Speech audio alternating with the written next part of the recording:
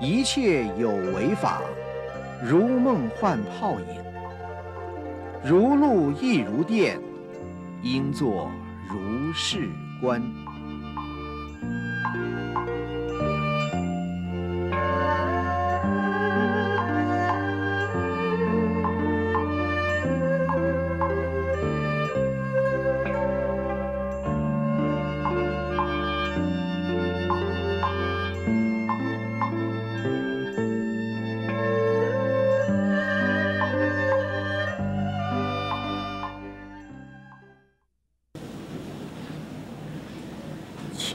请掀开经本第一百二十九面，一百二十九面倒数第五行，倒数第五行，从这个小注第四段看起。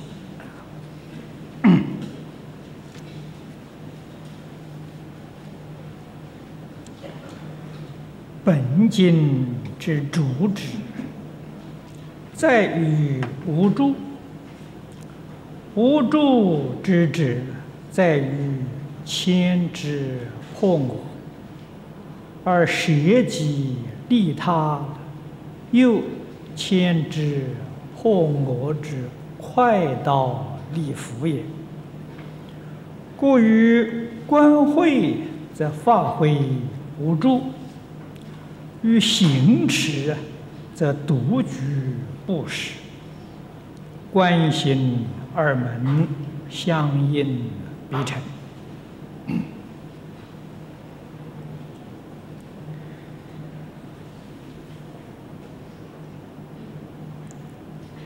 这个这个经文呢，讲到此地，啊，是一个。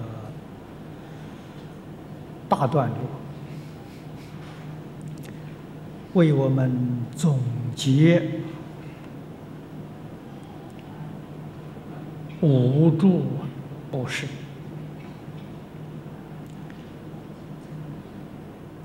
特别是世尊在这个经里面呢，不断的劝勉我们。应如是不是。说到这一部经的主要宗旨，啊，大家都明白了。宗旨就是无助，无助就是一切都不执着。不但有不能执着，空也不能执着。执着有不能出三界，执着空也不能出三界。三界四空天的众生，就是执着空啊。到那边去受生去了，啊，所以都出不了三界。因此，佛在此地教导我们：空有两边不住。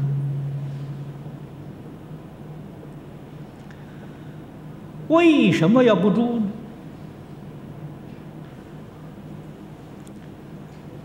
前面佛讲过。若菩萨有我相、人相、众生相、寿者相，即非菩萨。菩萨也是众生，是个觉悟的众生。玄奘大师翻译的时候称为觉有情啊，觉悟了的有情众生。跟我们不相同的，我们是不觉啊，我们是迷惑颠倒的众生啊。菩萨是觉悟的众生。那么换一句话说，这个觉跟不觉的标准呢？依照《金刚经》来说呢，就是着相啊，跟不着相。如果你做了四相，你就没觉悟，你是凡夫，你不是菩萨。如果立了四相，那你真的是菩萨啊！所以《金刚经》上啊，菩萨跟凡夫的标准，实在讲就是觉跟不觉的标准。啊我们自己想想，自己有没有觉悟？依旧还执着有是非人我，这个没有啊！啊，还执着有利害得失，这个是。实实在在的反复啊，一点儿不假，啊，没觉啊。当然，佛在这个经上讲的容易，我们做可真正不容易。那么现在要想离相，离相从哪里下手？佛在此地告诉我。牵之破，执着牵是离开，离开一切执着，把我相破掉啊，那你就真的觉悟了。立相破我，这从哪里下手呢？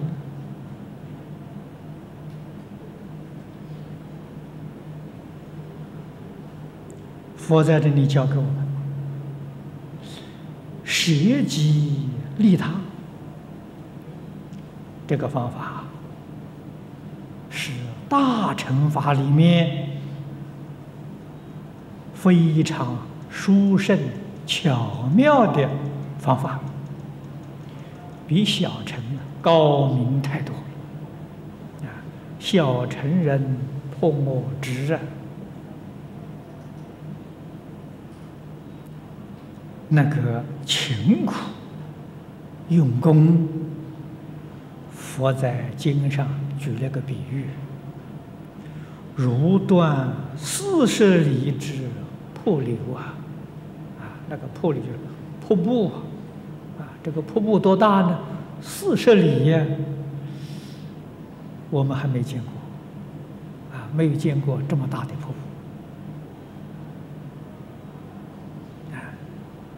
要想一下把它截断，叫这个水不流，诸位想想，这多么困难！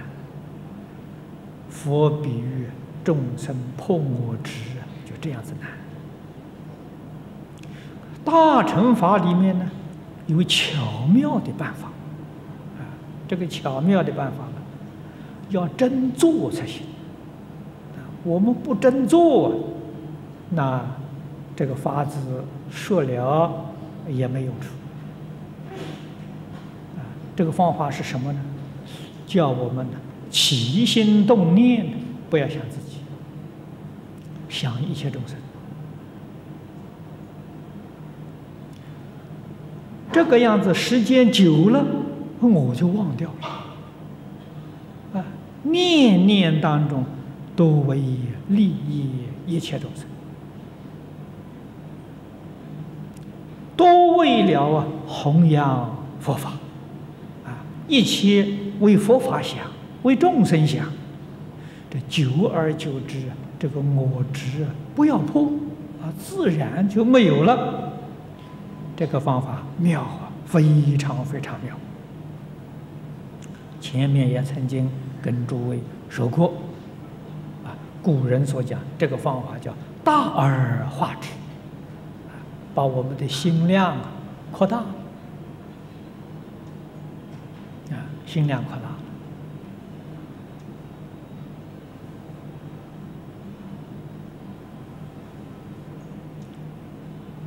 自古以来，许多修学大成的菩萨，用这个方法，在很短时间当中成就了。真正达到破四相的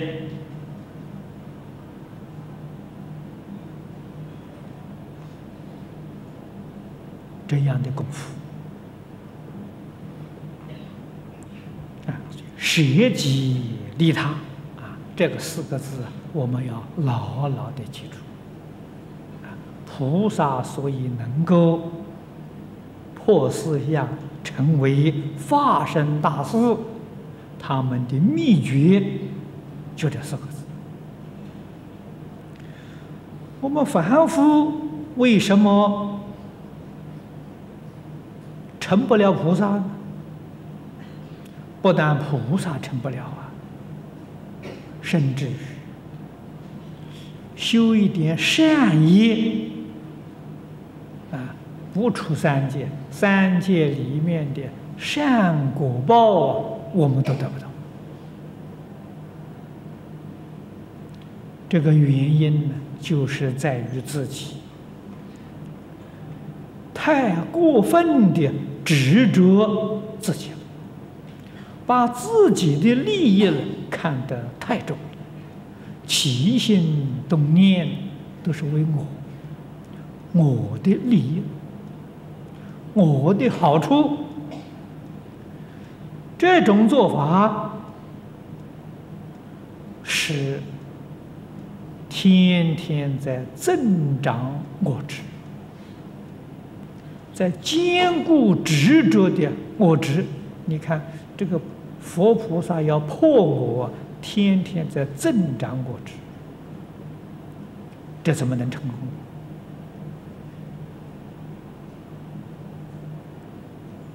这是我们必须要知道的，啊，要认识清楚的，然后才知道佛教给我们这些方法巧妙。我们运用这些方法，确实能达到效果啊！所以这是千之破我之快刀利斧啊！这个快刀利斧啊，是比喻啊。我们中国人常讲啊，“快刀斩乱麻”了啊，用这个比喻。故于观会，则发挥无助。观慧就是我们现代人所讲的人生观、宇宙观。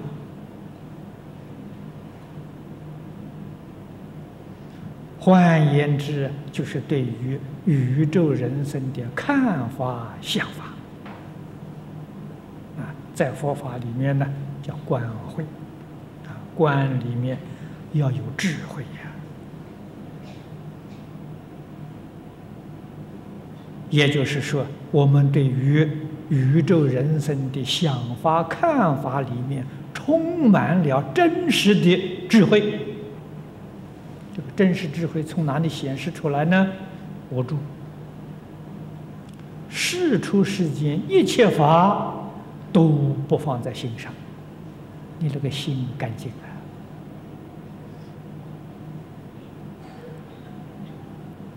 有一些同学来问：往生难不难？啊，大家都想求到西方极乐世界去啊，这个事情难不难呢？啊，我告诉诸位说，一点都不难，想去就去，你看这多自在呀！我想去，去不成啊！你那个想去是嘴皮上想去啊，心里不想去啊，所以你去不成啊。心里真想去啊，随时都去得成。啊，心里怎么想呢？要把这个世间一切万缘通通放下，这才能去得成啊。一天到晚在打妄想，在患得患失，这个去不了啊！啊，什么时候放下？什么时候你叫阿弥陀佛，你可以来接我了，佛就来了，一叫就来了，啊，灵得很呐！啊，心里面呢有忧虑、有牵挂、有这些拉拉杂杂东西在呀，叫佛菩萨不灵。啊，清净心叫菩萨很灵呐，一叫就来了。啊，所以一定啊要放下。放下才真正自在呀！心，这个我们在讲习里头啊讲了不少次了。心要空啊，心里头没有东西啊。六祖大师讲的好：“本来无一物，没有东西。”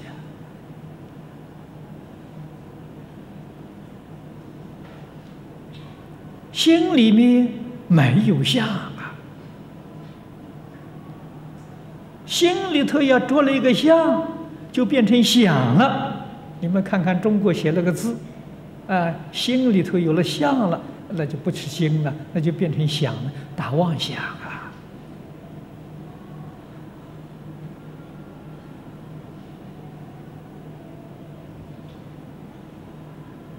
想久了啊，啊，就变成坚固的执着了。执着，执着就是思啊，啊，你看思里头，心里面画了很多界限了，啊，越画越多啊，啊，那就不是真心了，叫妄心，啊，所以思跟想啊，都是妄心，不是真心啊。思想里面是迷惑颠倒，没有智慧呀！真正智慧呀，是本心里头本来具足的。把那个思根想拿掉，智慧就现前了。只要有思有想，你绝对没有智慧。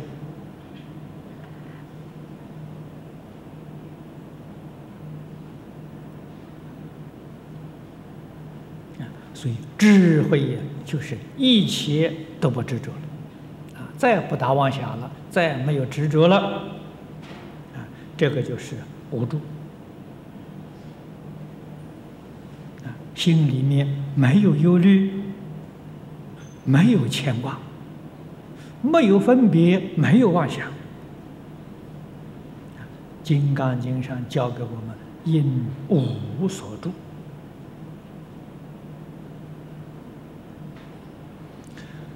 与行持在独居布施？为什么行持这么重要？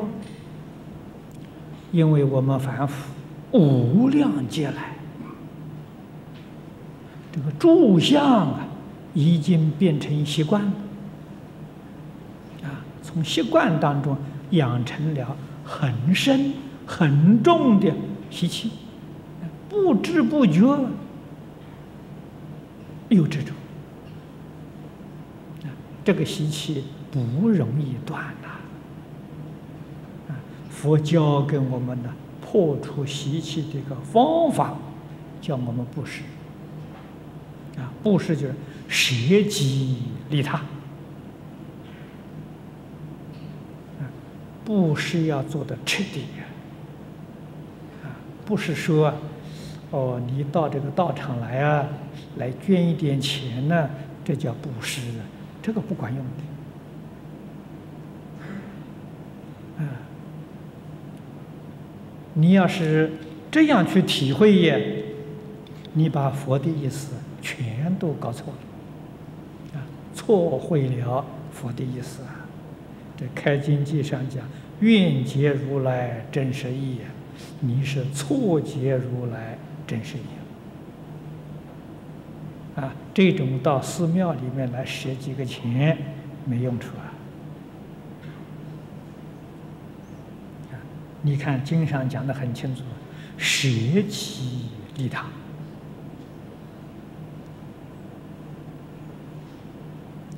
要舍自己的身呐，舍自己的心才行啊！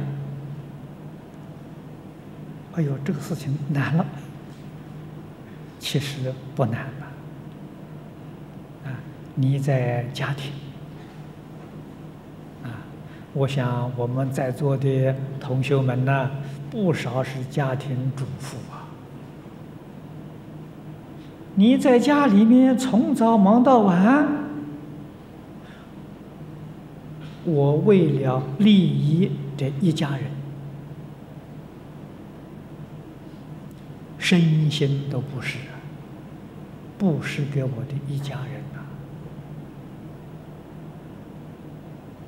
呐！啊，我为这一家人服劳役，啊，用我的体力。把这个家庭收拾的整整齐齐、干干净净，啊，勤奋的工作，学生啊，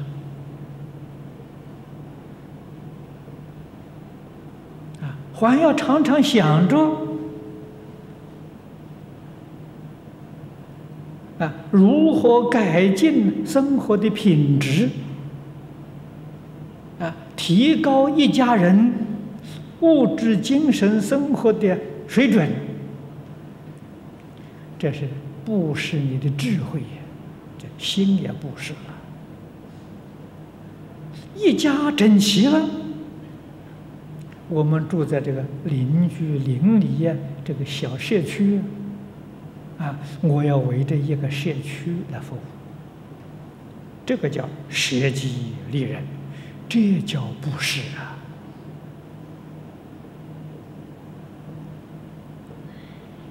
所以那个布施，不是叫你在佛门里头舍几个钱叫布施的，那你就搞得搞不晓得错到哪里去了。啊，身心都用来布施供养一切大众，不为自己着想。啊，所以从你最接近的，我们佛法常讲啊，慈悲为本，方便为门啊。最方便的，就是你一家人呢，就是你生活周边的人啊。你每天工作，你那个工作的场所，你要接触一些人、一切环境，你尽心尽力、努力去工作，那就是布施。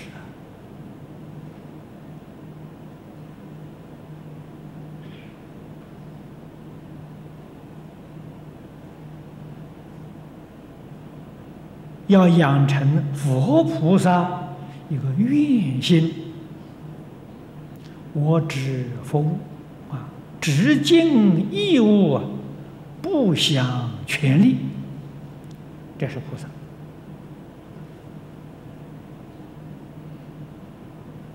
如果我尽义务啊，我还要想权利，你的心就有住了。不是没错，但是你心有住。佛教给我们，应无所住而行布施，就是我只尽义务，不想权利，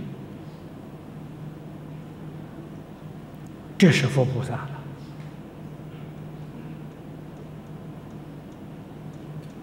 凡夫尽义务要享受权利啊，啊那是凡夫。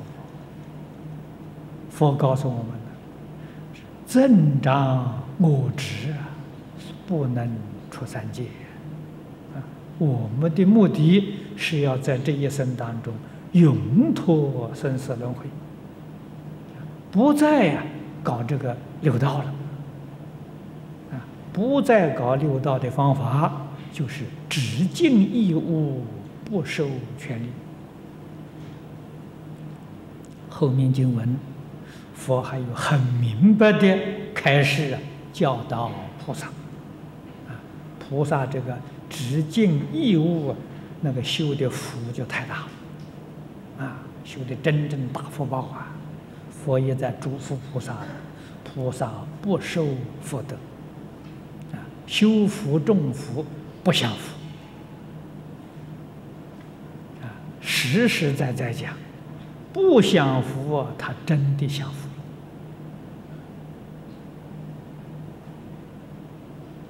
啊，那是真正的享福！这一享福啊，就掉在六道里面去了。啊，四相四见具足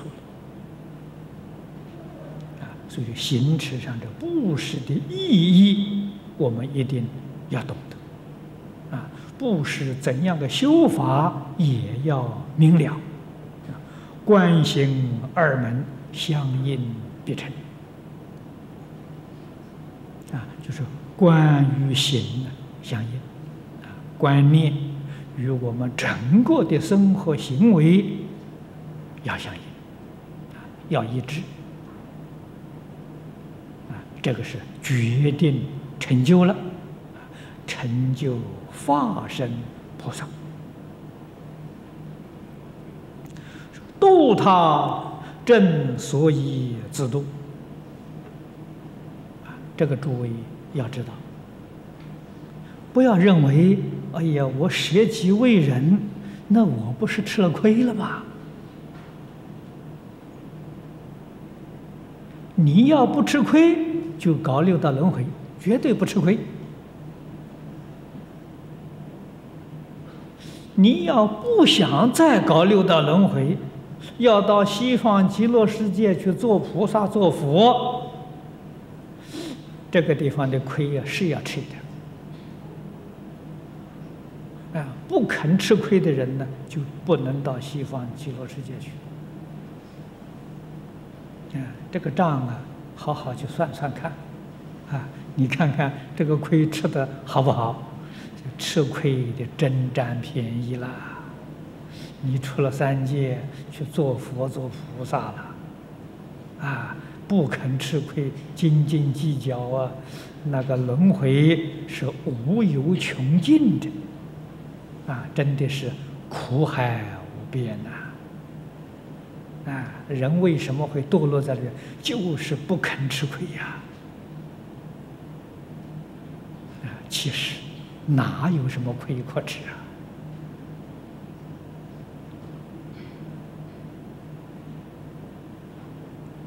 金刚经》上讲的三心不可得，能吃亏的我没有啊！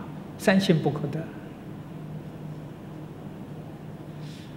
外面一切境缘都是因缘所生法，当体皆空，了不可得。你看，内里面我，外里面我所。居不可得，那个吃亏亏在哪里呀？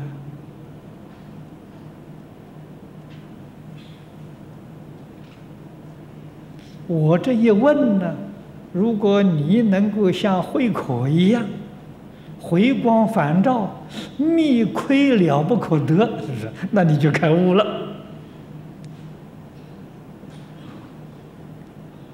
前面讲过禅宗这个。二祖啊，啊，求大摩给他安心啊。大摩说：“心拿来，我替你安。密心了不可得。你说你吃亏了，我问你，那个亏拿来，拿来我看看，亏在哪里？亏也了不可得，妄想而已呀，成天在打妄想啊。啊，所以帮助别人呢，真的是帮助自己啊。”不为自己帮助别人，你看自己往生成菩萨成佛了，岂不是真的帮助自己啊？帮助自己永脱轮回啊，往生不退成佛啊！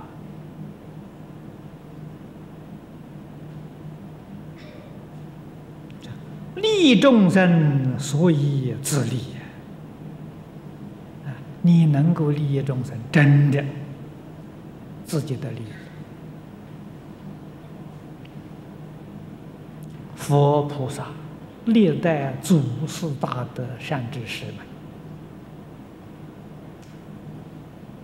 不断的苦口婆心的劝导我们，句句都是真实话。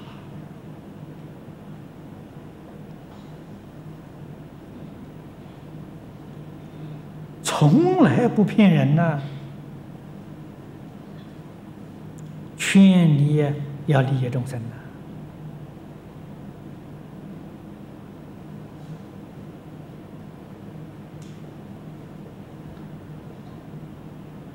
佛菩萨对众生。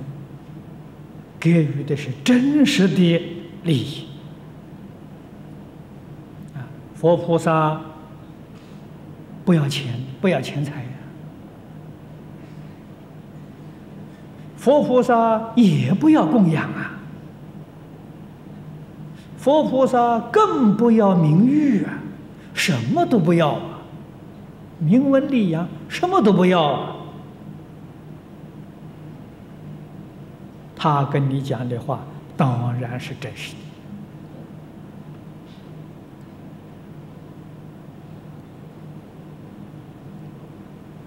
如果他对你有企图，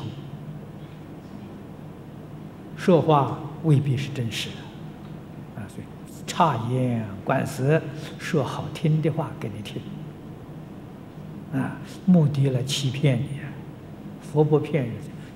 句句说真实话啊！告诉告诉人，利益众生才是真正自利啊！这个自利啊，那个利益是不可思议，破我执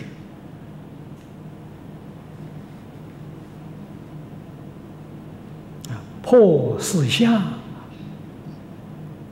我执四相一破。立刻就成为发生大事。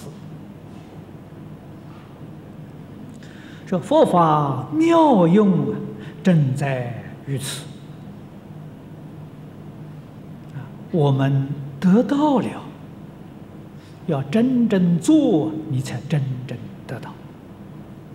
啊，不是说我听到了就算得到，那个你没有得到，你境界没转嘛。真正得到是，你要真正把它做到，你才能得到。所以能说不能行啊，没用处啊！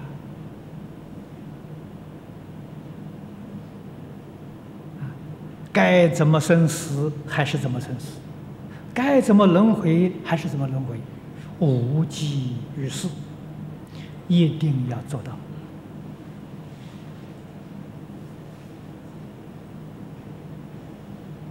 然后你才真正体会到佛法的妙用。一切佛理皆因如是领会。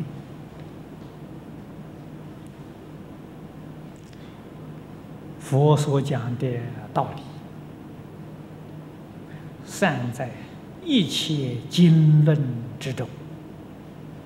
所以古德告诉我：一经通。一切精通，啊，他怎么会通呢？佛的理是一个，无助而已呀。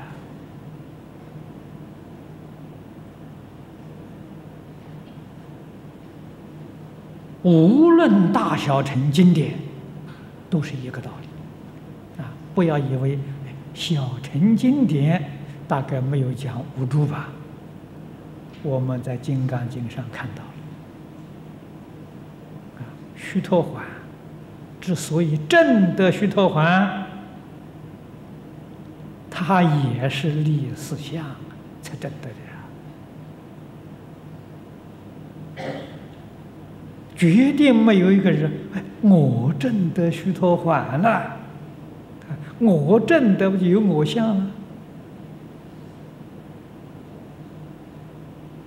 这是我们在《金刚经》上看到。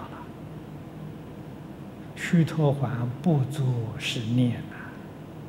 啊，我得须陀环果，他没有这个念头啊，所以他才能证果。啊，我们凡夫永远不能证果，就是有个我在，嗯，这就这不能证得。那么由此可知，这个理通大小乘。理就是同一切佛法。如但教以一切不住，而其心安然，如如不动，便因事而成就。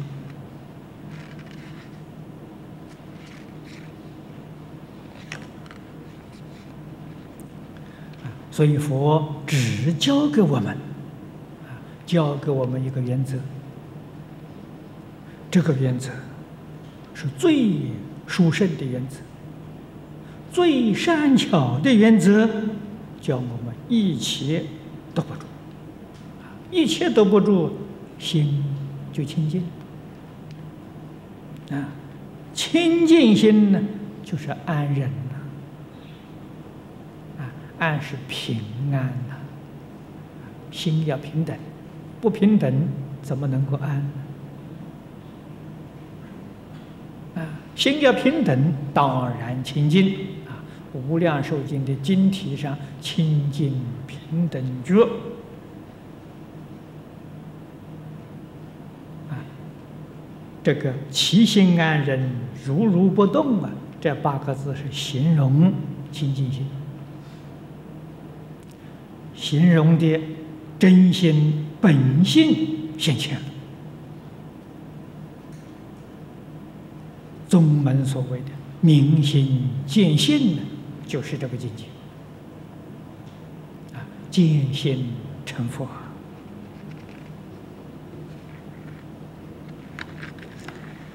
但令看破五蕴色身。放下贪嗔痴，而色身却因时而健康安乐。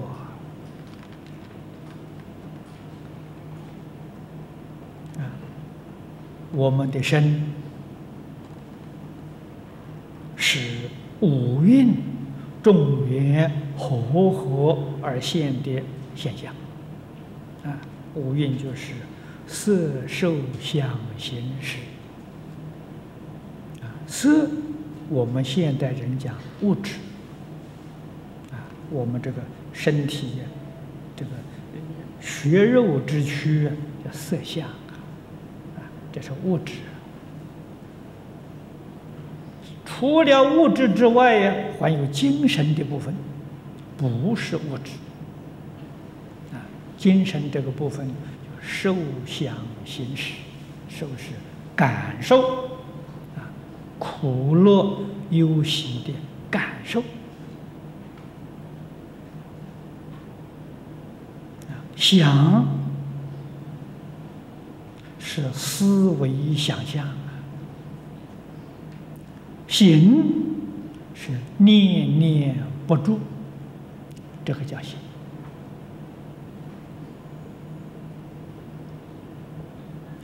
也就是我常常提示跟同学们的，啊，我们自己的身体，以及外面所有的环境的现象，都是一刹那九百生灭的业因果报的相续相。啊，这个叫业因果报的相续相，就是行。啊，行它不住。是这个意思，识就是阿赖耶识，它的作用含藏种子，啊，像一个仓库一样，啊，什么仓库呢？有一点像现在那个电脑啊，记忆的仓库，啊，你所经历的事情都能够不忘记，啊，多少年的事情还能够想起来。这个东西储藏在哪里呢？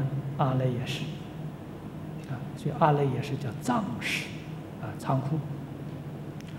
无世界以来，你所经历的事情啊，好像那个档案一样啊，通通都在这里面。现在，哎，前生的事情我都记不得了。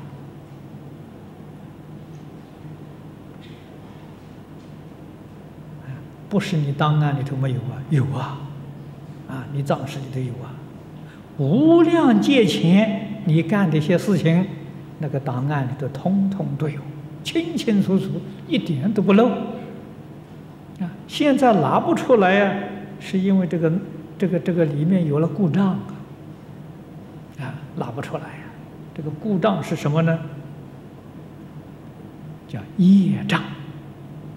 啊，你有了业障。如果业障除掉之后啊，无量劫前的事情，通通都能够记忆，都能够现，在眼前。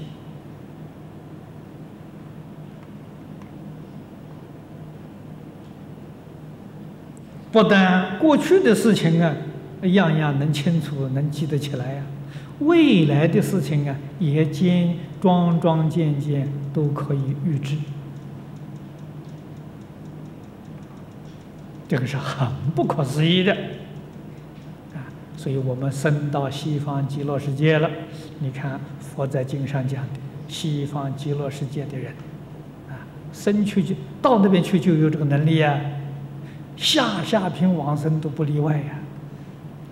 天眼洞视，尽虚空变法界，你都能够看到，看得很清楚，如同在眼前一样。啊，天眼洞视，天耳彻听啊！尽，虚空变法界，啊，哪里有人在说悄悄话？哎。说话的人自己没听清楚，西方极乐世界人听得清清楚楚。啊，我们有什么事情能够瞒得了极乐世界这些佛菩萨？一个都瞒不了啊！他心变智，这更了不起了。我们起心动念，他都知道。啊，他有他心通。知道自己的事情，徐命通啊，所以升到西方极乐世界，六种神通啊，这个本能呢，通通恢复了，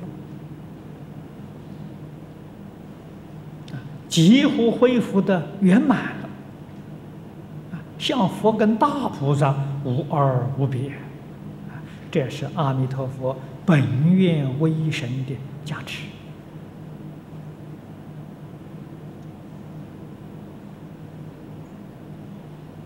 所以我们一定要了解我们现在这个身体是个什么东西嘛？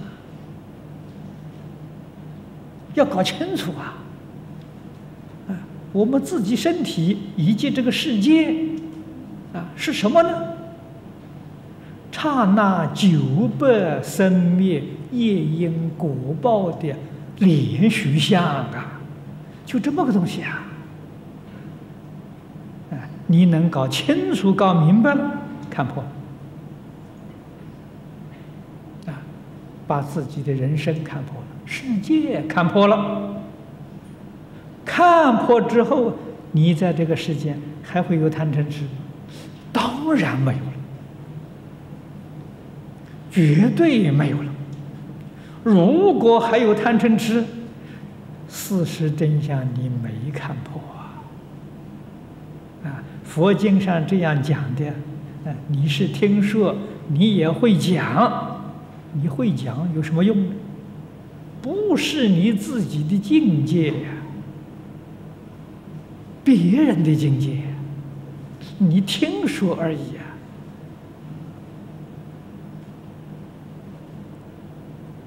你在台上讲的那个神情态度，啊，音声。这个内行的人一听就听出来了，一听说假的，不是真的呀，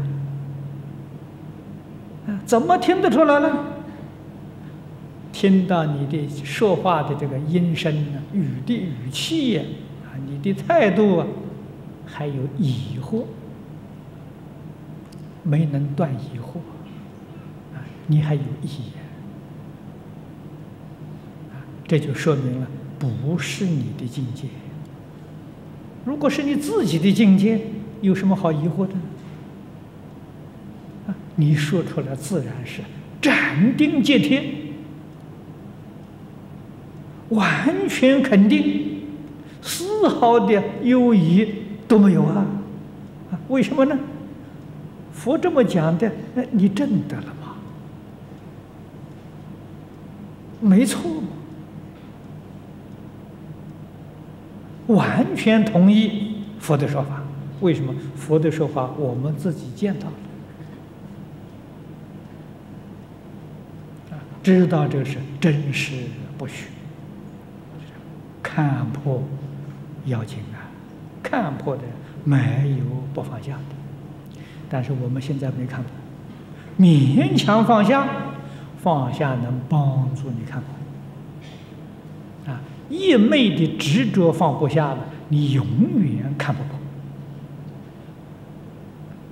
啊。你能放下一一分呢，帮助你看破一分；能放下两分呢，帮助你看破两分。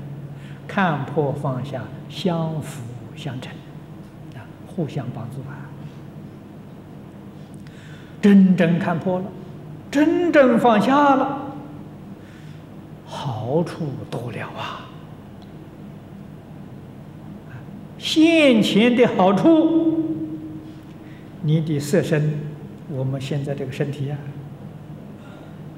健康安乐。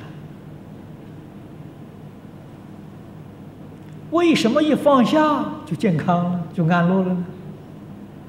这一放下之后啊，这个色身境界是唯心所变，变出来就是最健康。最安乐的，他变这个境界。我们今天现在这个身体为什么多病？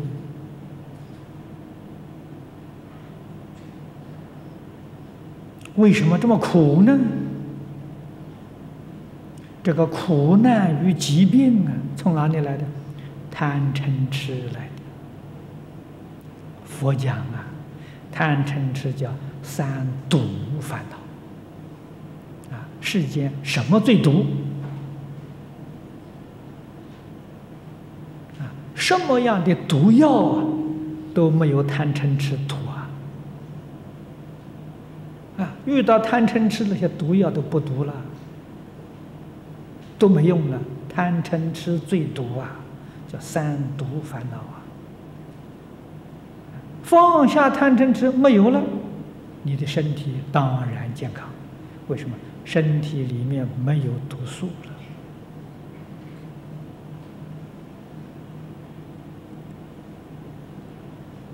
啊！所以最近有我们有听说这个人得了癌症的，念佛念了三个月，念了半年呢，没有了啊！再去检查了，确实没有了。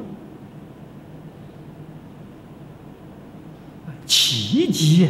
什么奇迹？一点也不稀奇，他念的心清净了嘛，他没有贪嗔痴了嘛，他里头的毒没有了，化掉了嘛。世间人不懂这个道理，认为这是奇迹。我们学佛的人这一点不稀奇，正常的现象。那当然是这是这个结果嘛。你那个癌细胞从哪来的？贪嗔痴来的。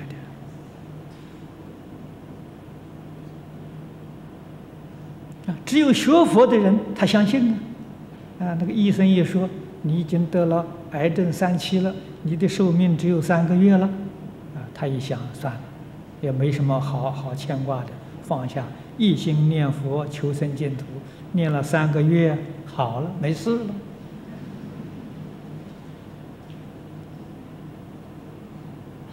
啊，道理在此地啊！所以你真正念佛。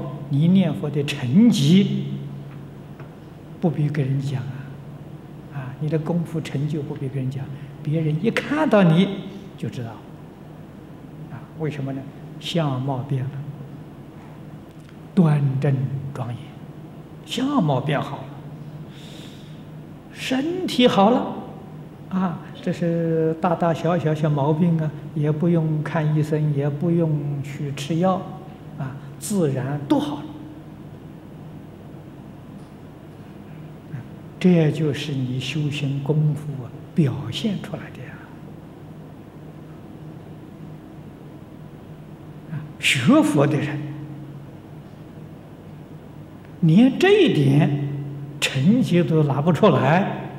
那学的是什么佛啊？啊，所以他这个最明显的，这是世间人所求的健康安乐。这个乐就是我们常讲啊，法喜充满啊，啊，你看他精神快乐，啊，心地清净，但令修出世法。而世法亦因时而日臻治理。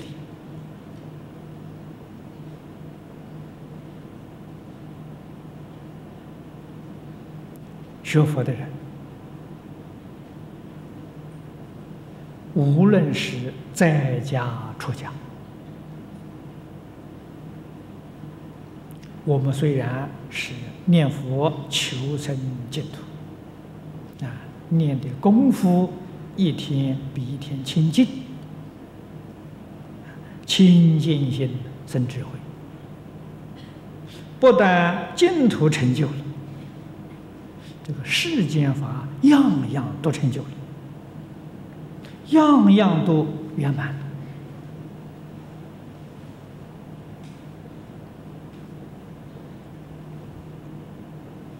啊，这才是学佛。真正的利益啊！人家问为什么学佛？学佛的好处就在这里。能信者，皆知发菩提心，行菩萨道，上可转凡成圣，中亦成大仁大智，下亦是善人君子。三皇五帝之圣，不过是也。这一段是讲真正相信佛法、修学佛法，可以得国家长治久安、世界和平啊，确确实实能够达得到啊。能信，特别是指能够相信佛在《金刚经》上所说的道理，所说的修学原理原则，你能够相信？你相信呢？当然，你就想发心去做啊，啊，依照佛的话去做。这个心生起来呀，这就是菩提心。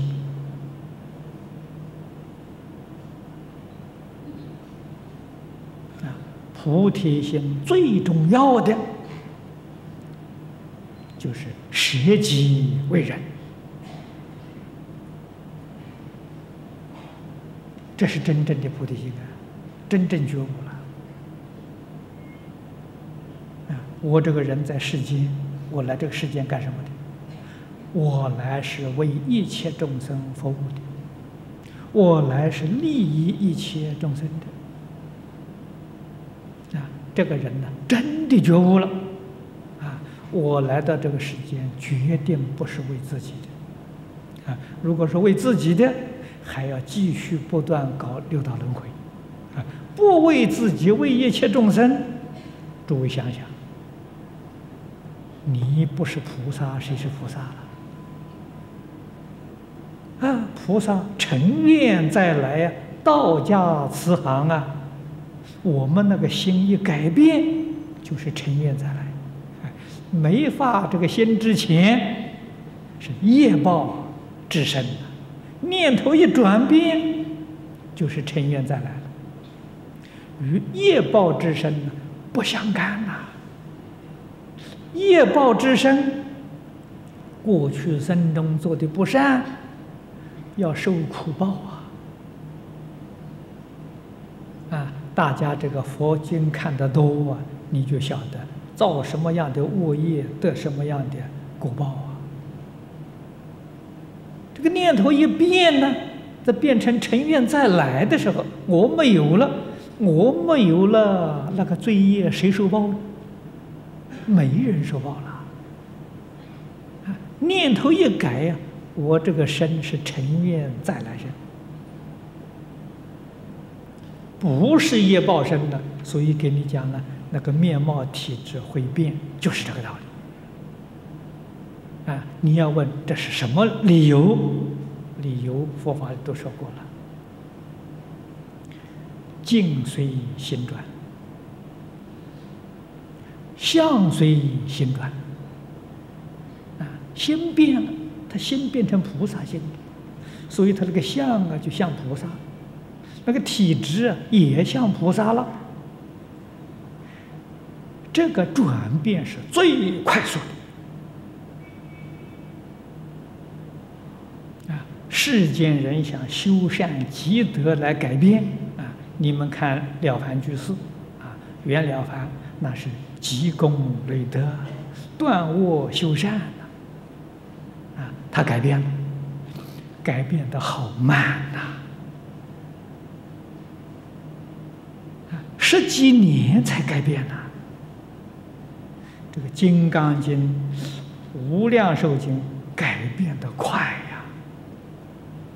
几天就改变了，啊，几天你不太容易呃见到啊，三个月见到，啊，三个月的时间很短，三个月就看到显著的改变，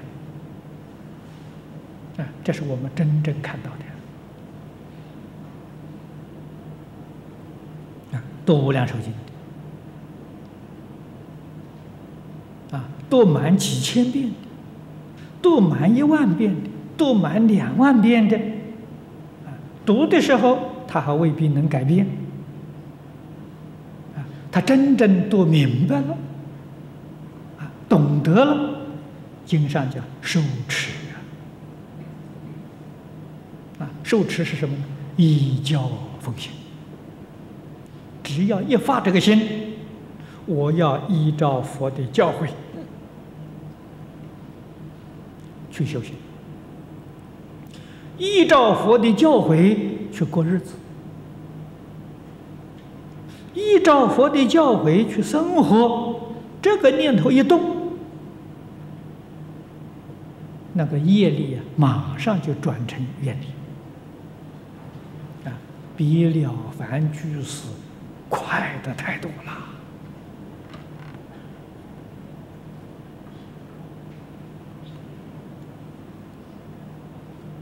啊同样一个道理，你对于佛的经义是不是真的明白了？如果不是真的明白，你这个念头转不过来呀。真明白了，会转过来，啊，一转过来，马上就见效，就不一样了。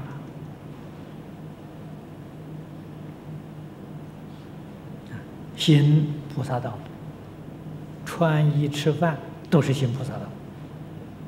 啊待人接物也是行菩萨道，啊，行住坐卧，没有一样啊，不是行菩萨道。啊，这个意思很深很广，但是前面已经讲了很多，诸位要细心去体会。下面讲三种效果。为什么会有上中下三等呢？转的那个心不相同，对于教理、教义呀，体会的深度不相同。体会的深的人，用心真实。纯真呢？啊，他转得快。马上就转凡成圣。啊，此地的圣，这是《金刚经》上的标准。原教初住以上啊，就是《华严经》上讲的四十一位法身大士啊，这是一转就入法身大士之流了。这上乘的，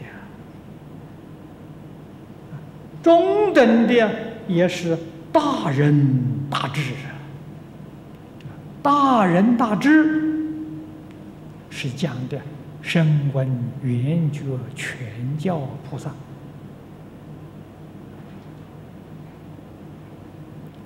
下等的善人君子啊，是我们世间人所讲的。世间的圣贤君子，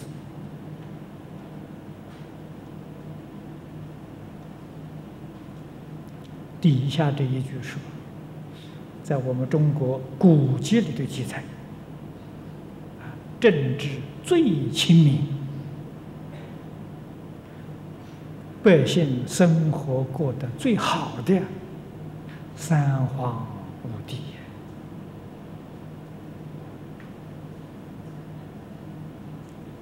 三皇五帝之圣呢，不是过也。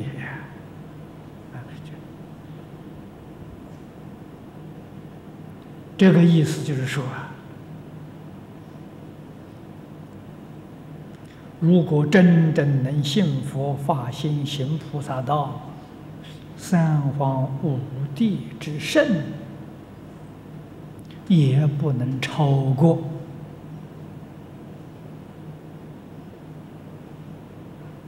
能信发心行菩萨道之人，啊，也不能超过啊。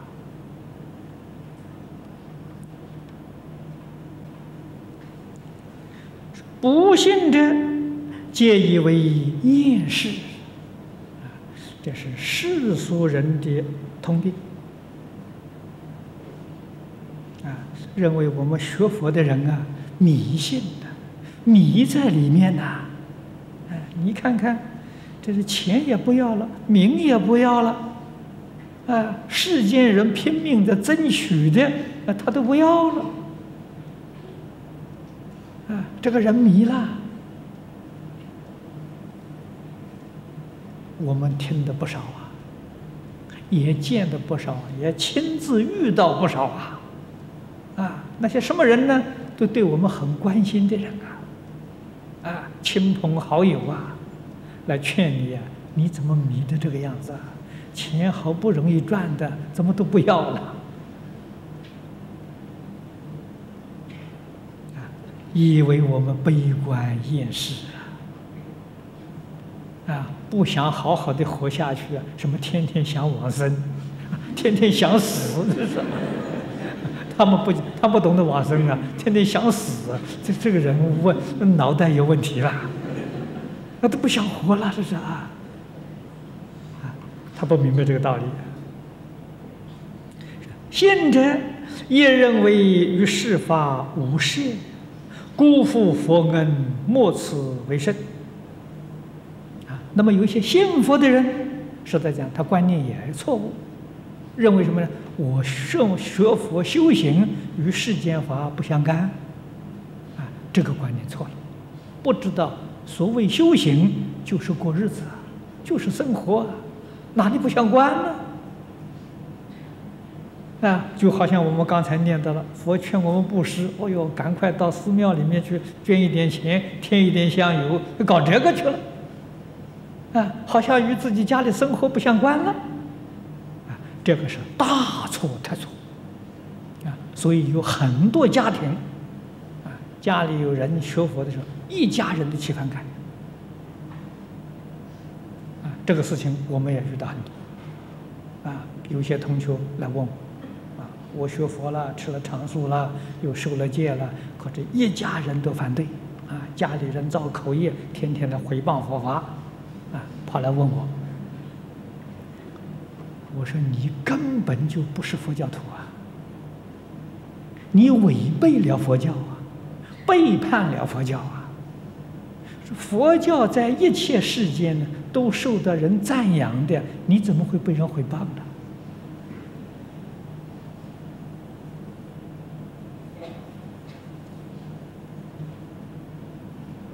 这是我们必须要教导他的，免得发生误会。啊，他自己认为是佛教徒了，好像我自己都得救了，家里人将来一个个都要堕三途啊，要堕地狱啊！啊，变成什么呢？贡高我慢，瞧不起家人。啊，自己发现吃素了，看到家里人还吃鱼吃肉的时候啊，非常不满，两个对立了。你不是搞家庭革命了？啊，不学佛这一家还不错，还很和睦；一学佛的时候，一家都变成冤家对头了。这是什么佛法吧？这个佛法不害死人了？啊！学了佛教，你要舍己为你的家庭啊！你真正能够舍己为家庭、为每一个人来服务，哪一个人不高兴啊？哪个人不喜欢呢？你自己学错了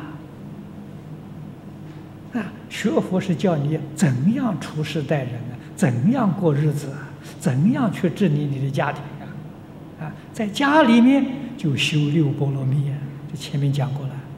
在家里面呢，就修十大愿王啊，那叫做学佛啊。你把你的家跟佛堂分成两个，到庙里面才是修行，家里面就不是修行，那那就坏了。毛病都出在这个地方啊。所以真真讲的好啊，这信者亦认为与世法无涉。他不晓得世法就是佛法了，啊，离开世法没有佛法，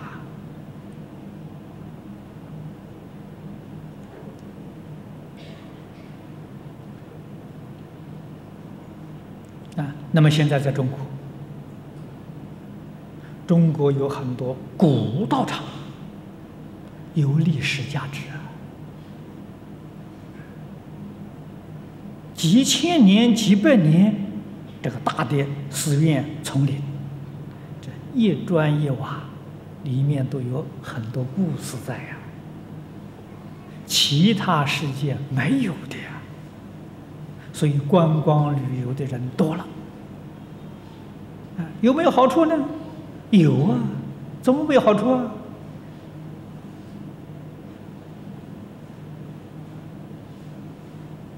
我们真正是佛弟子，正好利用这个机缘，对所有观光旅游的这些人们，机会教育。啊，他来观光，我们把佛法介绍给他，他也很欢喜啊，他真正得到佛法的受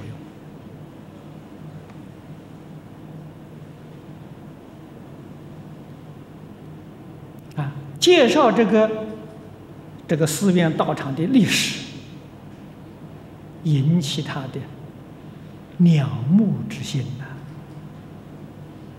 美国的历史才两百年了，啊，那对于我们中国一说就几千年，他们都非常的感叹，我们都不认为不可思议。啊寺院里面供的这么多佛菩萨形象，一般外国人来看看之后，这是宗教，哎呀，多神教啊，泛神教啊，这个多神教、泛神教就瞧不起你，你是低级的宗教，神太多了，高级的宗教一个神，一个真神。啊你们怎么搞这么多神来啊？你看看，让人家笑话，啊，说我们迷信。如果你跟他讲解一番大道理呢，他就明白了，他佩服的五体投地。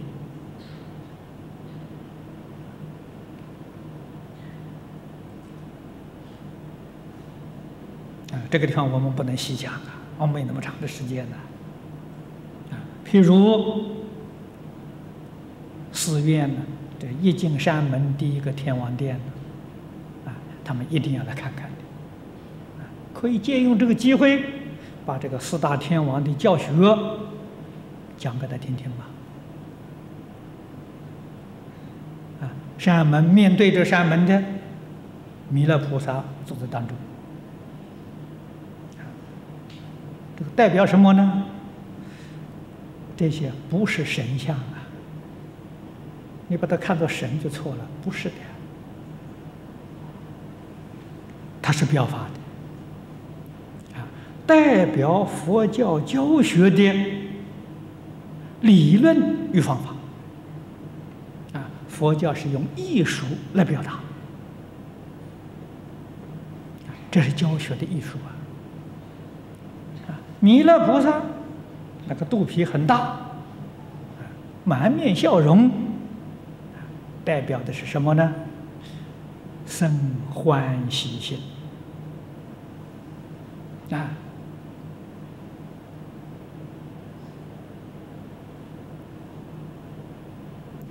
见到任何一个人，笑面迎人呐。肚皮大是代表度量大，能包容一切，比的这个意思。他坐在门口，代表的说：你们想进来学佛，学佛的条件是什么？量要大，啊，斤斤计较、心量很小的人，没有资格学佛。学佛的人一定度量很大，什么都可以包容。见到任何人冤家对头，啊，这个人天天想害你，你对他还是笑脸相迎，这种人才有资格进佛门。对，他在那里代表这个意思啊。啊，什么人才可以跨进这个大门呢？哎，这样的人才可以。啊，就生平等心呢，成喜悦相，啊，这才能进门。这个四大天王的表法，我们这个门口印的有一张。啊，旁边是四天王，四天王护法神呢，护什么法呢？护我们自己的法，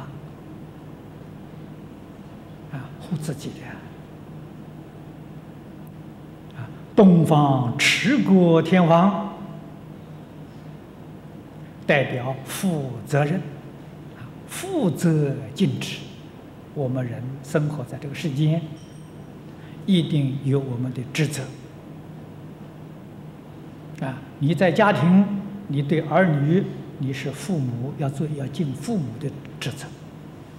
啊，你的儿女，这做儿女的对父母有孝养的职责。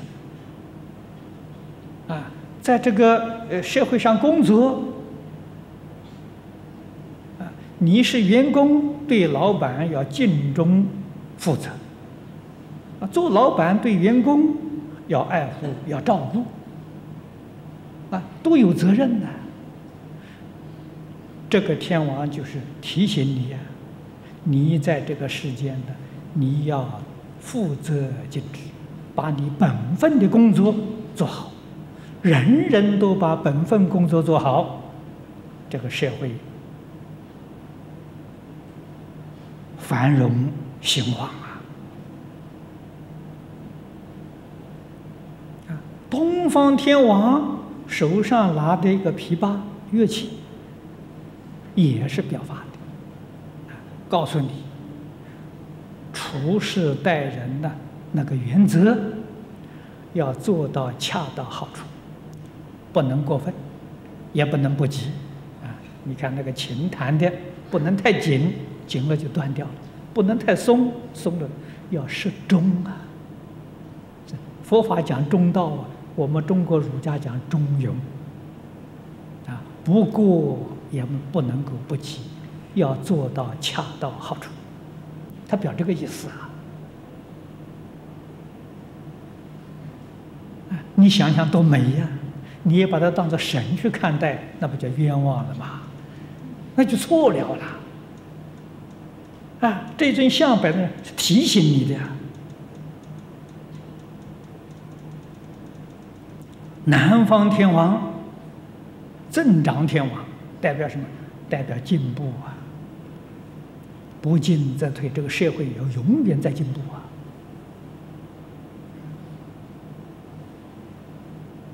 啊，我们的德行要增长，啊，我们的智慧要增长，我们的才艺要增长，乃至于我们生活的水平也要增长。啊不断往上提升的，啊，所以佛教不是落伍的，啊，不是退步的，啊，儒家讲日日新又日新的，佛法讲精进，天天在求进步啊，永远站在时代的前端的，领导这个世界走啊，天王手上拿的是剑。剑代表什么？智慧呀，慧剑。你没有智慧，你凭什么增长？啊，他表这个意思。啊，西方天王广目。啊，广目是如何能够做到尽分尽职？如何能够做到进步？天天求进步。西方就多看，这哪里行？啊，我们今天讲考察，啊，观光旅游考察，多看看别人的，啊，人家的长处我们学习，人家的缺点我们改进，不就超过人家了？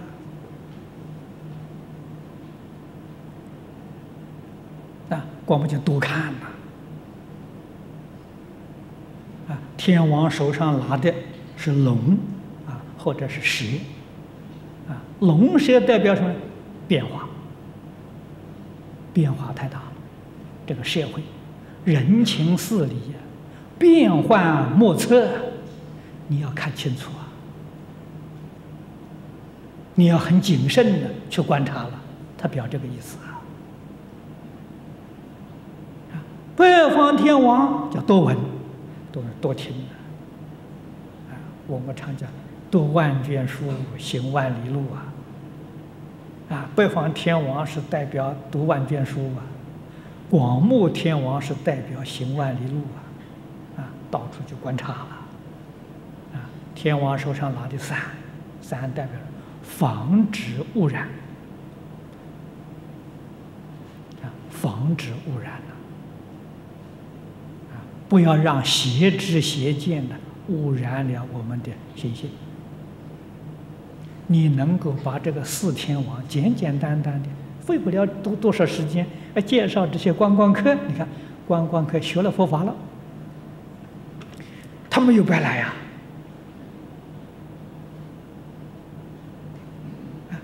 一尊佛像，一尊菩萨像，代表一部经典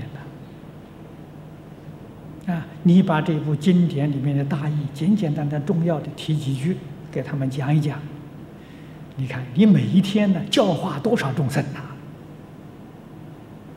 这些众生听到佛法了，他又会去给别人讲，佛法才能够普及于世界。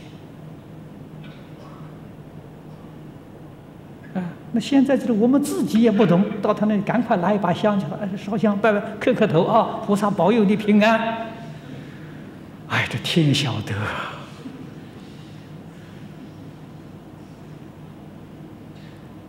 怎么能叫社会上人家就不迷信呢？啊，人家怎么能瞧得起佛教呢？佛教这么好的东西，自己都不知道，还能怪人家？啊，来责备我们吗？所以说，辜负佛恩呢，我们佛弟子辜负佛恩，没有尽到责任。啊，说莫此为甚呐！啊，世界为民佛理之过也。啊，追究它的根本原因，我们自己对于佛讲的这些道理没懂，啊，自己本身不清楚啊，怎么能够教化众生？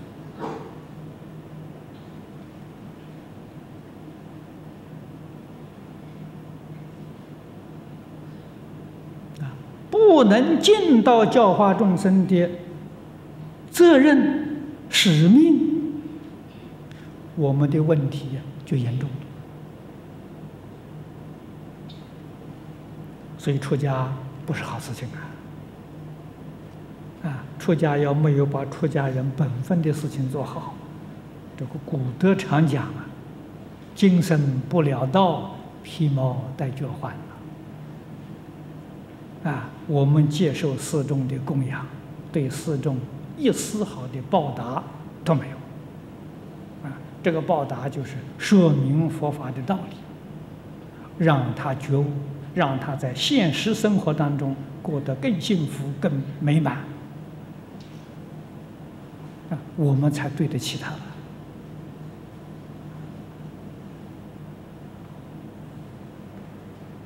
发大心。欲弘扬佛法者，首以将此意尽力宣说，彻底善明，比大众见得明了，多入佛门，则化全世界为大同国，化净法界为极乐邦，亦不难也。愿共勉之。发心弘法，这是我们四众弟子都有责任。啊，出家人更不必说了，出家人是专门干这个的。啊，职业的教员呢，专门干这个的。啊，在家人呢，那是兼职啊。他不是专业，他是兼职。啊，他来护持道场，啊，护持弘法。啊，在家人有能力，一样啊，也要行菩萨道出来讲经说法。从释迦牟尼佛那个时候就有。啊佛陀在世的时候，为摩居士讲经说法，跟佛没有两样啊！啊，所以弘法利生呢，在家人可以做的，不是说这是专门出家人的责任啊。我们在家人没有必要，你这样想法也错了。出家人认为弘法利生是我们出家人做的，在家人不必要做，也错了。只要有能力、有机会，一定要发心去做。佛法教给我们随缘啊，我们有这个机缘就要做，没有这个机缘不必勉强。啊，这叫随缘。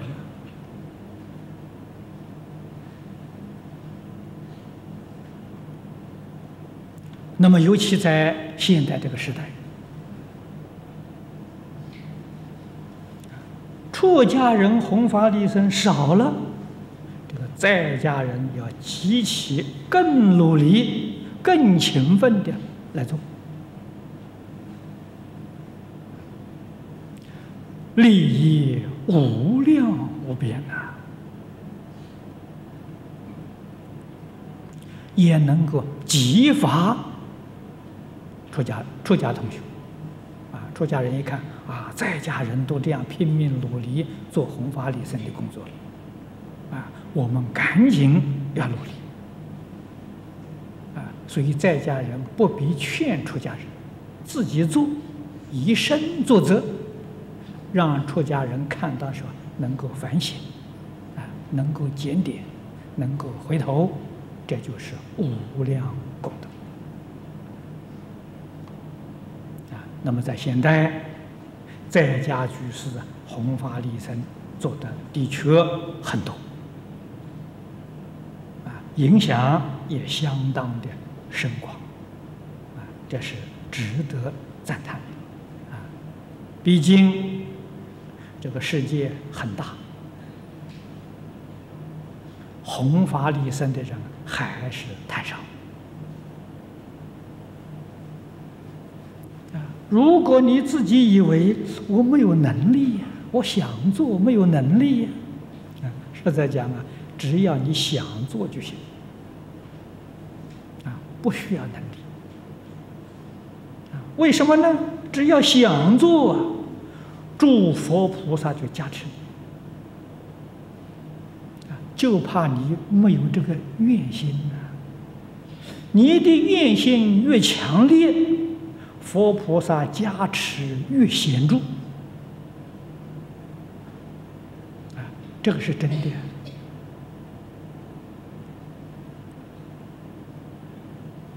凡是发心出来讲经说法的，无论在家出家，都说了这个真话。啊，你看早年地显法师。这是民国初年天台宗了不起的一位大德。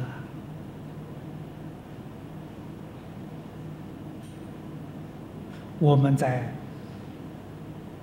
《圆觉经清文记》的序文里面看到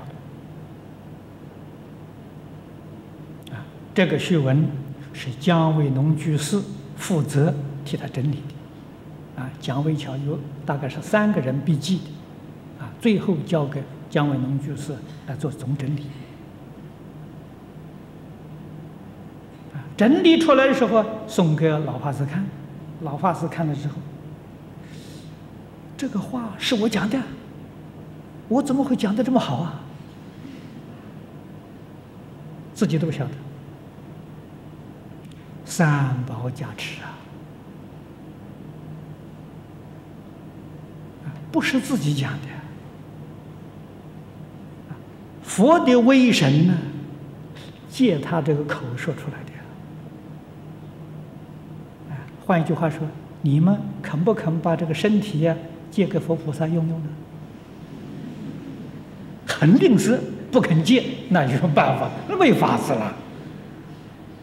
那你欢欢喜喜借给佛菩萨用，哦，你说出来的是不可思议啊！啊这老法师，啊，居士里面李炳南居士，我亲近他十年，啊，他每一次讲经很认真的预备，预备出来东西，有的时候上讲台上是一句也没讲到，啊，所讲的都不是自己预备。的，啊，记录下来的时候拿给他看看，他也觉得很惊异，惊讶了，啊，怎么会说出这些东西来？啊，怎么会说的这么好？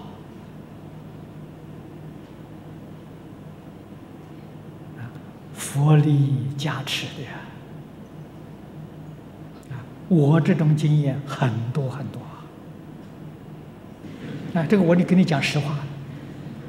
啊，我上台没有准备啊，不晓得讲什么东西。下了台你问我，我也不知道啊。现在有人录音啊，把它记录下来拿给我看，我也很惊讶。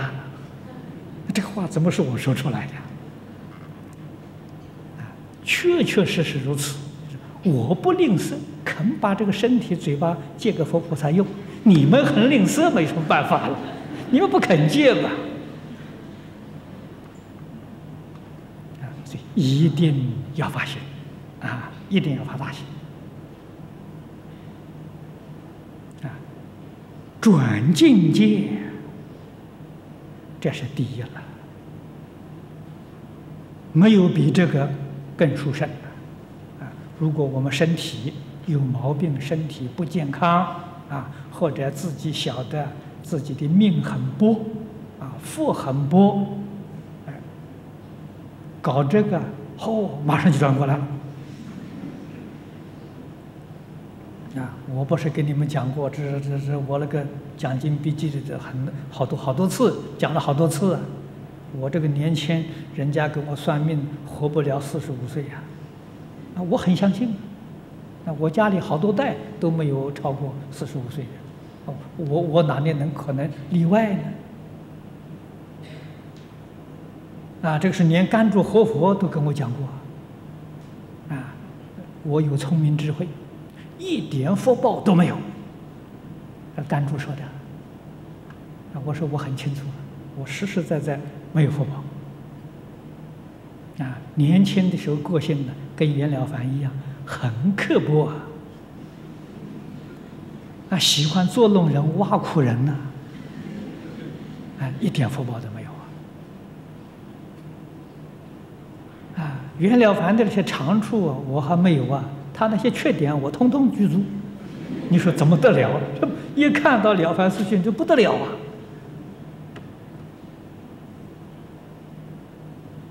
啊！啊，现在还能活这么大年岁呀，身体还不错啊。就说这就是我这个身体啊，嘴巴借给佛菩萨用的，就就沾这个光啊，啊，就这么回事情啊。所以要发心，啊，要把这个大乘经义，啊，实实在在讲，我们在今天这个时代，啊，弘扬什么经好呢？最方便、最殊胜的，无过于《阿弥陀经》。啊，《阿弥陀经》短呐，啊，三天可以讲完，五天可以讲完，七天可以讲完。最受人欢迎的啊！你看谭旭法师呃《念佛论》里面给我们讲，从前郑锡兵居士啊，他是个做生意的，学了佛了，生意不做了，学会讲《弥陀经》，到处跟人讲《弥陀经》，最后人家往生那么自在啊，欲知时知，没有病苦啊啊，坐着走的呀。就会讲一部《弥陀经》啊就行了，不要学的太多啊！一部学完了啊，你一生都受用不尽呐！啊，你到中国，中国有多少个县呢？我想应该有两三千个县一个县去讲一个星期啊！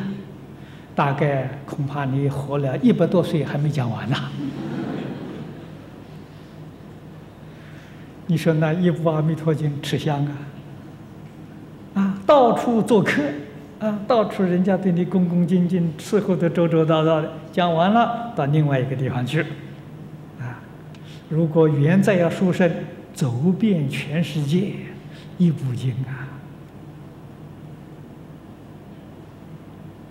比什么都强啊！啊，真的是自利利他。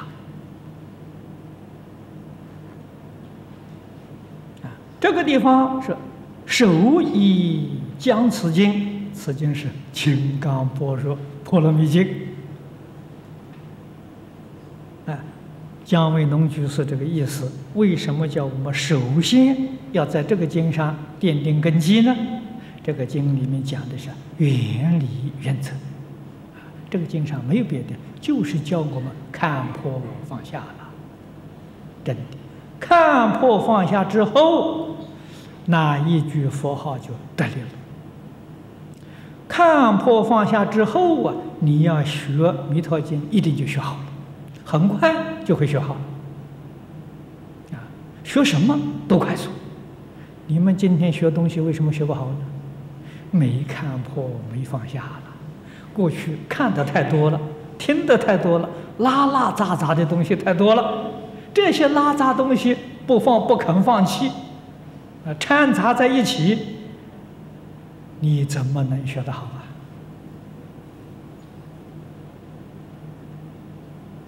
啊？啊，跟那个做菜一样啊，一锅的烂菜汤，乱七八糟啊，不是味道啊。所以你要肯舍，通通放下。啊一门深入，啊，这样才行啊！啊，《金刚经》不是教我们别的，就是教我们放下啊，看破放下，彻底明白这个道理，啊，也要把这个道理给大众啊说明，啊，就叫大众都能够明了，这样才叫真正的入了佛门。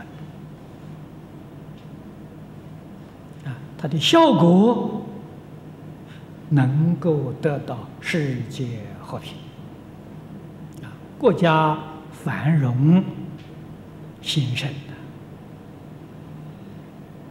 啊，化法界为极乐邦啊，啊，依照阿弥陀佛的理想，把我们这个世界建成西方极乐世界。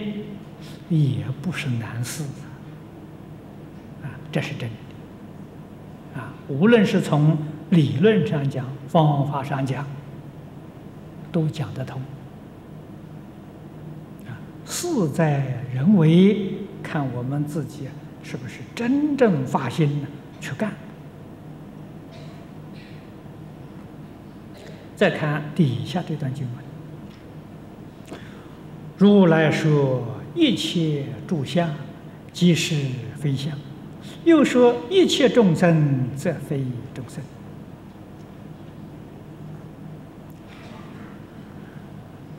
经文那个着眼呢，在“如来”两个字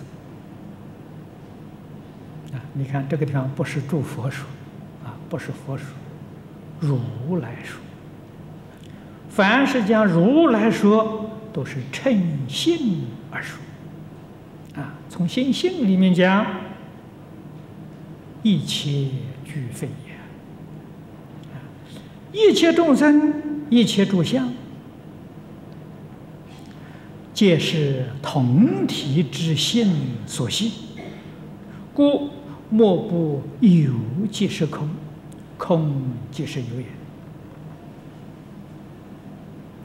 这是讲的事实真相。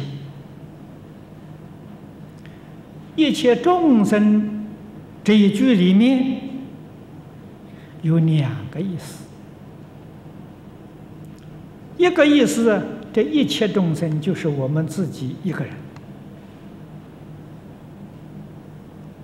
我们自己一个人，为什么叫一切众生呢？一切众缘和合而生的啊，这个现象啊，不是单纯的，很复杂的啊，所以称一切众生。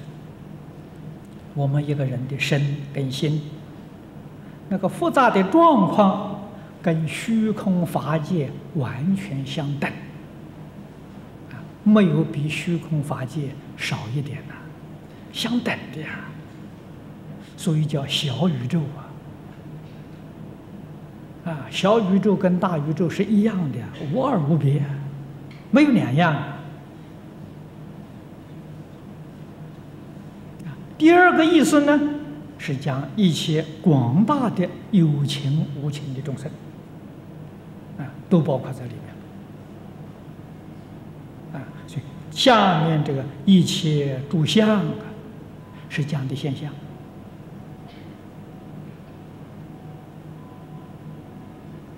啊这一句完全从相上说的，而一切众生里面呢，心法跟色法通通具足。一切诸相里头单讲这个现象，就是单讲啊相分呢，这个不讲这个心法啊。我们讲说物质的这个世界。无论是有情世界、无情的世界啊，无情就是物质的世界，都是同体之性所现。《华严经》上讲，情与无情同源种之，啊，它怎么个同法呢？都是自信变现出来的。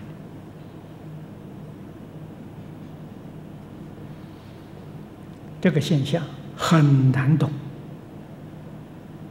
所以佛在经上，古德在讲解论述当中，都常常用梦来比喻。本经幕后有六个比喻：梦幻泡影、露电，六个比喻里头以梦为主。啊其他的是陪衬的。梦我们大家都有经验。梦从哪里来的？这个我们晓得，是我们心里变现出的境界。啊，梦中确实有境界。啊，有动物，有植物，也有矿物，有山河大地，也有虚空。那不是自己心里变现出来的。啊梦中会变境界，要晓得，眼前的山河大地，一切众生啊，包括太虚空啊，无量无边的星球世界，从哪里来的？我们自信变现出来的，就跟梦中所变的这个道理呀，没有两样，啊，同样一个道理，啊，梦我们晓得是假的。啊，这个梦一醒了之后啊，晓得哦，空的。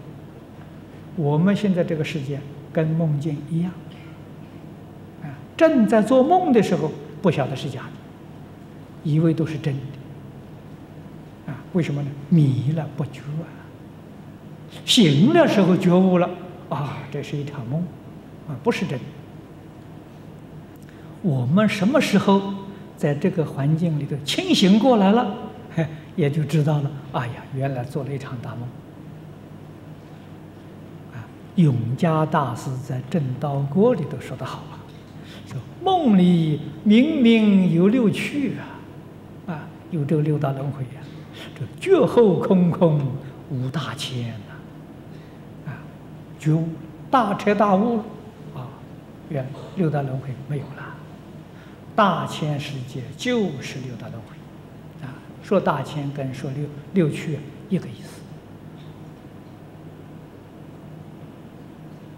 啊，所以一定要晓得有即是空啊，有是什么？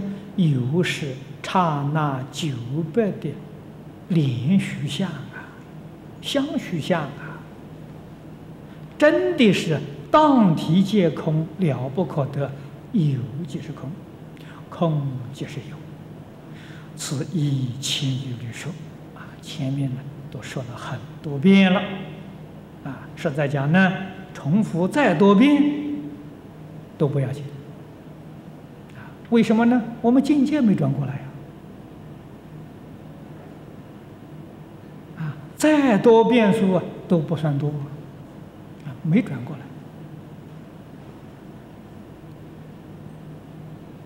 来，说的变数多了。使我们的记忆加深，时时刻刻能够把这一句话提醒，那就产生作用。我们对于一切境界相啊，不会积极去争取了。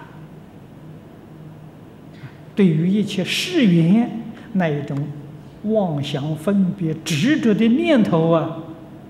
虽然没断，淡了几分了，这个淡了几分呢就好，啊，淡了几分呢，烦恼就少了，智慧就增长了，啊，希望不断的去淡下去，啊，所以这个富贵不能想啊，一想。就迷惑了。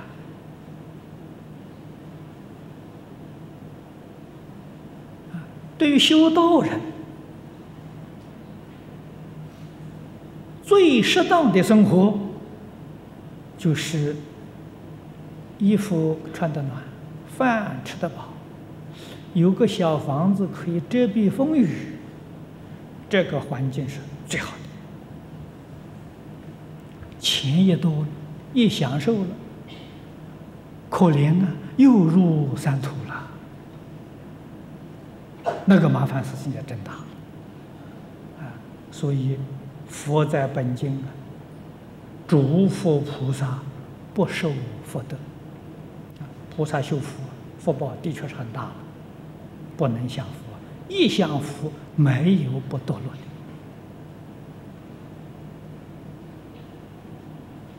的啊！我们要想自己这一生保全，不要堕落啊！战战兢兢，小心谨慎！这一生呢，确确实实能了生死、出三界、往生不退、成佛，一定要记住，过一个清苦的生活。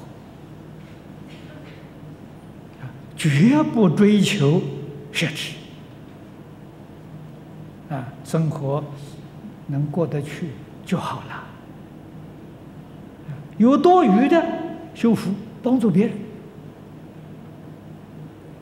做弘法利生的事情啊。今天弘法利生最有效的方法，印经。我们这个道场外面戒烟的经书很多啊，许多同学们发心，啊，印经送到这里来跟大家结缘，啊，做录音带，啊，做这个录像带，啊，现在还要做这个 CD 片，啊，做这个东西，来供养一切大众，这个布施。不但是财布施、法布施也在其中啊。实在讲，财法无为三种布施啊，都具足了。这个是真正的好事。所以有多余的钱呢，干这个不要做别的用，别的用处可惜了啊。这个钱财很少啊。能叫许许多多的人得利。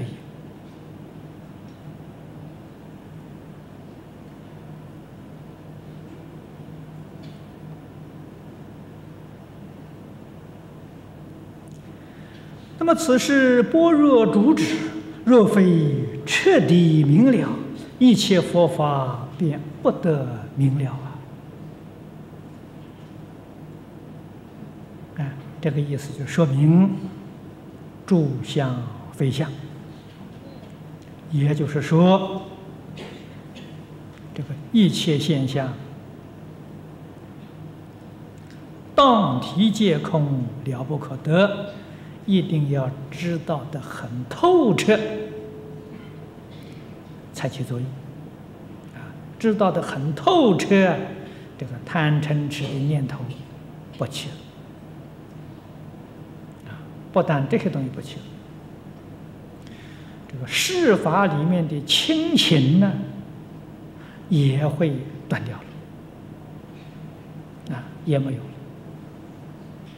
啊，为什么呢？这个亲情呢，报恩报怨、讨债还债呀，没完没了啊，啊，牵着你在这个六道里的轮回搞这个事事情啊，苦不堪言呐。看破了，也要放下，也要舍掉。啊，到西方极乐世界就成菩萨、成佛，将来回过头来度这一些冤亲债主。啊，他跟我们有缘呢，就是佛不度无缘之人呐。啊，这些有缘的都是先得度的，优先得度的。这才是一个真正有智慧、真正聪明人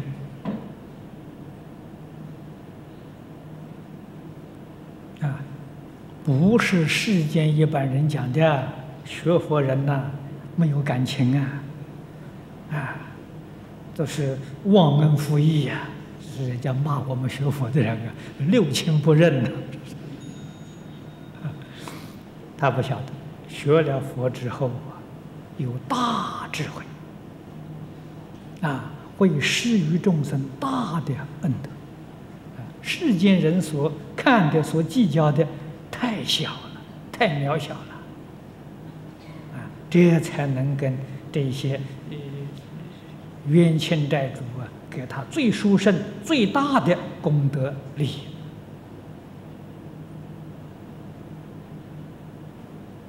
啊，所以不明甚深般若呢，你这一点呢就做不到。啊，这是《般若经》。为什么要讲？所有关门行门种种修持啊，便不能得力，故今更详细说之。啊，姜文龙居士讲《金刚经》，为什么讲的这么详细？有道理。啊，《金刚经》要不细讲，没用啊。一定要细讲啊！啊，真正明了宇宙人生的事实真相，知道这一些真实的道理，我们的观念改变了，我们的行持如法了，啊，与法就相应了。啊，无论修学哪一个法门，功夫啊都很容易得。啊，这是详细讲解的原因。当知一切法，莫非因缘聚会，假现有相。缘聚则生，缘散便灭。啊所有一切现象，这个现象存在多久，就是那个缘多久。啊，缘聚现象，缘散了，相就灭了。如果是个聪明人，把这个事实看清楚了，就知道不生不灭，哪来的生灭？不过是缘聚而已，缘散而已，没有生灭。缘聚的时候，缘没有生灭；缘散的时候，缘也没有生灭。哪来的生灭？